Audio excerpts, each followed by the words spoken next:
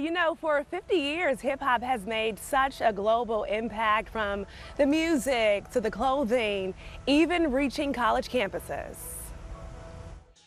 It's not going anywhere anytime soon. For Josh Rousey, Without a doubt, it has kind of been the, the soundtrack that kind of guides our lives. hip hop is a form of self expression.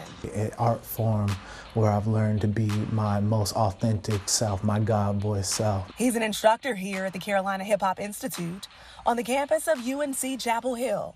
This is the Beat Lab. It houses music equipment from turntables to drum machines and synthesizers. And Rousey, also known as Rowdy, showed me how it worked. Hype it up.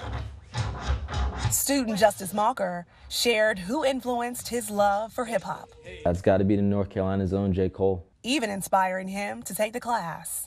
The realness, the rawness, the vulnerability. And Over the years, the Hip Hop Institute has had big names hold workshops. connects with students where they are. Program founder and director Mark Katz says the most famous name was Phife Dawg from Tribe Called Quest. He's one of the many artists who signed this wall. I would say it was a life changing experience for the students. And it also turned out that he was a huge Carolina basketball fan. It's not lost on them that hip hop continues to influence society today, and North Carolina has become a focal point.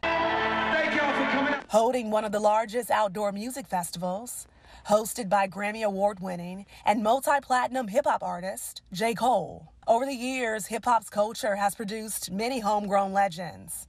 And we can't forget about this North Carolina anthem.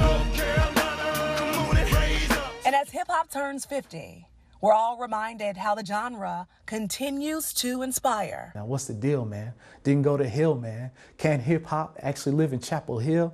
Man, I've been finding a master plan like every week, like off the top, from the words that I speak, I might preach like sheesh. And back out here live, the uh, Carolina Hip Hop Institute has been around for three years. They were on hiatus this year, but I'm told they are set to make a return next summer. Back to you all.